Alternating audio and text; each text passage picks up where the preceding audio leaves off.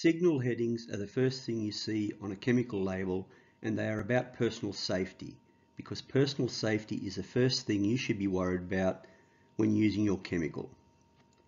Signal headings relate to the poison schedule and are a plain English way to indicate to the chemical user how potentially dangerous the concentrated chemical is.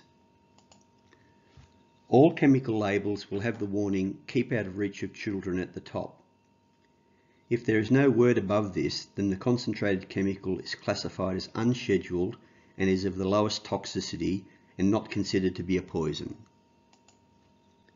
If the first word at the top of the label is caution, then the concentrated chemical is now considered to be a Schedule 5 poison with a low toxicity.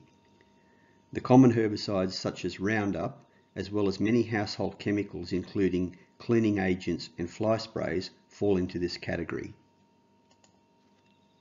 If the first word is poison, then the concentrated chemical is a Schedule 6 poison and is in the high toxicity bracket.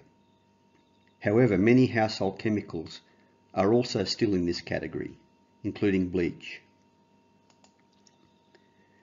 A chemical with the words dangerous poison at the top is considered to be of very high toxicity and should only be used by experienced professionals or authorised persons. In most cases, the normal chemical user will only ever use chemicals with the word caution or poison at the top. However, please remember that these levels of toxicity only apply to the concentrated chemical and only if you use the chemical incorrectly. So always follow all label instructions and stay safe when using your chemicals. A poison can only harm you if you use it incorrectly.